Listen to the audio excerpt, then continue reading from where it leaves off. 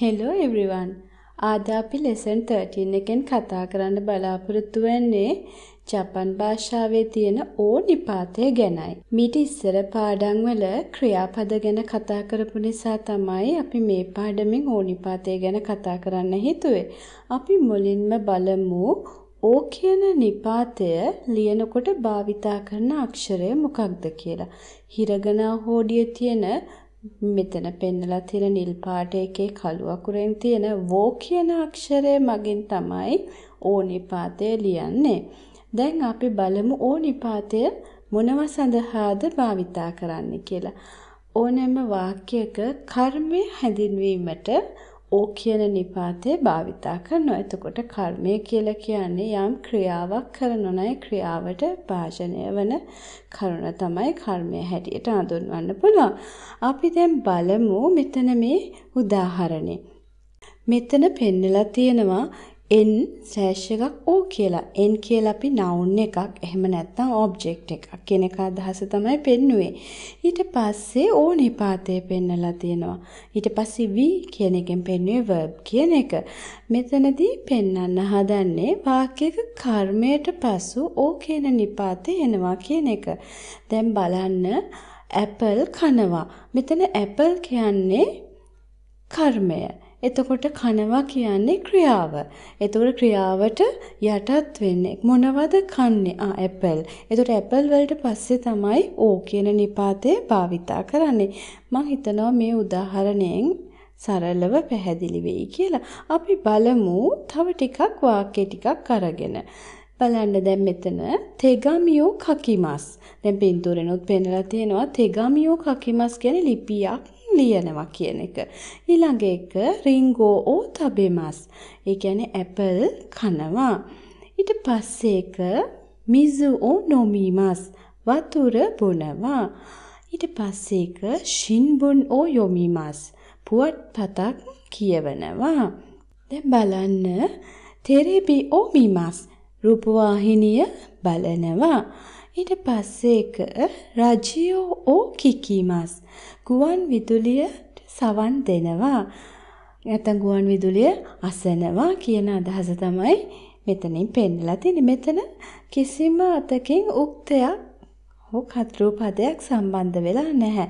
කෙලින්ම කර්මය සහ ක්‍රියාව විතරයි පෙන්ලා තියෙන්නේ. අපි විස්තරානුකූලව වාක්‍යයක් කොහොමද දෙන්නේ කියලා බලමු ඊළඟට. කොහොමද වාක්‍යයක යම් පුද්ගලයෙක් යමක් කරනවා කියනකොට ඒ කියන්නේ යම් කිසි වාක්‍යයක උක්තයක් ඕනේ. සබ්ජෙක්ට් එක එහෙම නැත්නම් ටොපික් එක කියලා මෙතන පෙන්නලා තියෙනවා. දැන් අපි බලමු මම ඇපල් කනවා. කන්නේ කවුද? මම. කන්නේ මොනවද? ඇපල්. එතකොට මම කියන්නේ වාක්‍ය උක්තය. උක්තයට පස්සේ වාක්‍යන නිපාතය යොදනවා. ඊට පස්සේ ඇපල් කියන්නේ වාක්‍යයේ කර්මය ක්‍රියාවට යටත් වෙන එක. කන්නේ මොනවද ඇපල්? ඇපල් වලට පස්සේ අනිවාර්යෙන්ම ඕ නිපාත එනවා. ඊට පස්සේ තමයි ක්‍රියාපදය තබේමස්. වතශි වා රින්ගෝ ඕ තබේමස්. එතකොට මෙතන ඉන්නේ මම ඇපල් කනවා මේ වාක්‍ය වර්තමාන කාලයෙන් තියෙන්නේ. ඒ කියන්නේ අද එක්ක හෙට අදහසින් තමයි භාවිතා කරන්න පුළුවන්. අපි ඊට පස්සේ බලමු ඕ කියන නිපාතේ තව භාවිතා වන අවස්ථා මොනවද කියලා. වාක්‍යවල මොන මොන තැන්වලද භාවිතා වෙන්නේ කියලා. ප්‍රධානම එක මම ඉස්සෙල්ලත් කතා කරා. වාක්‍යයක කර්මයට පසු ඕ කියන එක යොදනවා කියලා. දැන් මෙතන පෙන්ලා තියෙනවා ඒක. උදාහරණ වාක්‍ය කියනවා. එතකොට මම මෙතන සිංහලෙන් දාලා නැහැ. මම මේ වාක්‍ය කිව්වට පස්සේ මේ වාක්‍යයේ අදහස පැහැදිලි කරනවා. වතශීවා නිහෝංගෝ ඕ නරයිමස්. ඒ කියන්නේ මම ජපන් භාෂාව ඉගෙන ගන්නවා. වතශීවා කුසුරියෝ නොමීමස්.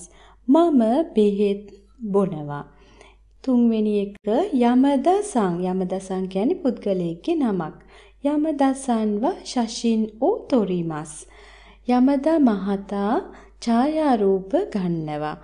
හතරවෙනි එක කනජොව ඒකෝ මිමස්. ඇය චිත්‍රපටයක් බලනවා. පස්වෙනි එක කරේවා සුෂියෝ තබෙමස්. ඔහු සුෂි කනවා. සුෂි කියන්නේ ජපානයට ආවෙන එක කෑමක්. බත් ගුලි උඩින් අර මාළු වර්ග ඒවා තියෙන කෑම එක තමයි සුෂි කියලා හඳුන්වන්නේ. එතකොට මෙතන නිල් පාටින් පෙන්නලා තියෙනවා මේ වාක්‍යයේ කර්මය. ඊට පස්සේ රතු පාටින් පෙන්නලා තියෙනවා ඕනිපාතය. දැන් ඕනම කර්මයකට පස්සේ ඕ යෙදෙන ආකාරය තමයි මේ තියෙන්නේ. අපි බලමු තවත් අවස්ථාවක්. යම් ද්‍රව්‍යයක් ඉල්ලනකොට එක්ක පුද්ගලයෙක්ගේ යම් ස්ථානයකින් කාගෙන් හරි අපි ද්‍රව්‍යයක් ඉල්ලනකොට ඒ ද්‍රව්‍යයට පස්සේ ඕ කුදසයි කියලා භාවිතා කරන්න පුළුවන්. ඕ කුදසයි ඕ නිපාතේ කුදසයි කියන්නේ දෙන්න එහෙම නැත්නම් දෙන්න කරුණාකර කියන අදහස ගොනු වෙලා තියෙනවා මෙතන. අපි උදාහරණ බලමු බෝරු පෙන් ඕ කුදසයි. බෝරු පෙන් ඕ කුදසයි කියන්නේ බෝල් පොයින්ට් පෑන දෙන්න. කිත් තෙෝ කුදසයි දෙවැනි එක. ඒ කියන්නේ මුද්දර දෙන්න. තුන්වෙනි එක ජිෂෝ ඕ කුදසයි. ශබ්දකෝෂය දෙන්න. සෂ්ෂි ඕ කුදසයි. සංගරාව දෙන්න. යම් පුද්ගලයෙකින් හෝ යම් තැනකට ගිහිල්ලා අපිට දෙයක් අවශ්‍ය නම් පහසුවෙන් මේ ක්‍රමය භාවිතා කරන්න පුළුවන්. තුන්වෙනි අවස්ථාව. මේක ටිකක් විශේෂයි. මේ ක්‍රියාපද යම් වාක්‍යයක අග තිබ්බොත් ඊට ඉස්සරහින් අනිවාර්යෙන්ම ඕනිපාතය යෙදෙනවා. බලන්න මෙතන කළු පාටින් කරලා තියෙනවා තොබි මස් පියාසර කරනවා. වතාරි මස් හරහා යනවා. ඒ කියන්නේ පාරක් හෝ පාලමක් ක්‍රොස් කරනවා කියන එක. අරුකි මස් ඇවිදිනවා. හෂිරි මස් දුවනවා එහෙම නැත්නම් වාහනයක් නම් ධාවනය කරනවා. සම්පෝෂි මස් ව්‍යායාමයට ඇවිදීම් කරනවා. තෝරි මස් කියන්නේ යමක් පසු කරගෙන යනවා කියන එක. මේවා එක තැනගෙන ඉඳගෙන කරන්න බැරි ක්‍රියාවන්. මේ ක්‍රියාපද යම් වාක්‍යක අග තිබ්බොත් ඊට ඉස්සරහින් ඕනිපාතය අනිවාර්යයෙන්ම යොදන්න පුළුවන්. ඊට පස්සේ බලන්න මේ දුඹුරු පාට වගේ තියෙනවා දෙමස් පිට වෙනවා ඕරීමස් බහිනවා සුත්සුගියෝෂිමස් උපාධියක් කරනවා එහෙම නැත්නම් උපාධියක් ලබනවා කියන එක. මේ වචනවල තේරුම යම් ස්ථානයකින් අපි බැහැර වෙනවා. එක්ක ඉවත් වෙනවා කියන එක. ඒ අදහස් යම් වාක්‍යයක අග තියෙනවා නම් මේ ක්‍රියාපද දෙමස් ඕරීමස් සොත්සුගියෝෂිමස් ඊට පෙර ඕඩිපාතය අනිවාර්යෙන්ම යොදන්න පුළුවන්. ඊට පස්සේ යසුමිමස් යම් ස්ථානයකින් නිවාඩු ගන්නවා. එක්ක රැකියාවෙන් පාසලෙන් වගේ නිවාඩු ගන්නකොට ඒ නිවාඩු ගන්න ස්ථානයට පස්සේ ඕ යෙදෙනවා. ඒ කියන්නේ යසුමිමස් කියන ක්‍රියාවට පෙර ඕ කියන එක යෙදෙනවා. ඊට පස්සේ පෙන්නලා තියෙනවා ශිරීමස් එහෙම නැත්නම් ශිත් ශිත්තේයිමස්. ශිරිමස් කියන්නේ දන්නවා, ශිත්තේයිමස් කියන්නේ දැන සිටිනවා. අපි යම් පුද්ගලයෙක් දන්නවා නම් මේ වචනේ ශිරිමස් සෝ ශිත්තේයිමස් වාක්‍යයක තියෙනවා නම් ඊට පෙර ඕනිපාතය යොදන්න පුළුවන්. මේකට උදාහරණ කීපයක් තමයි දැන් මේ පෙන්නලා තියෙන්නේ. තොරිවා සොරාෝ තොබිමස්. කුරුල්ලා අහසේ පියාසර කරනවා. කරේවා හෂියෝ බතරිමස්. ඔහු පාලම හරහා යනවා. ඒ කියන්නේ පාලම ක්‍රොස් කරනවා කියන එක. කනොචවා මිචියෝ අරුකිමස්. ඇය පාරේ ඇවිදිනවා. කුරුමාවා මිචියෝ හෂිරිමස්. කාර් එක පාරේ ධාවනය වනවා. ඊට පස්සේ ඉමෝතෝවා කෝයෙන්නෝ සන්පෝෂිමස්. නංගී උද්‍යානයේ ව්‍යායාමයට ඇවිදීම් කරනවා. උතෝතෝවා කිස්සතෙන් ඕ තෝරිමස්.